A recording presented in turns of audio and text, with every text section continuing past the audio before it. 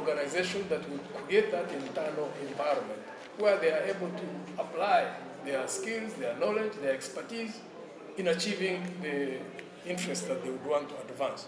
And we're on track because we are consistent. We're going to be consistent. And then time is going to keep revealing that to the different interests in society.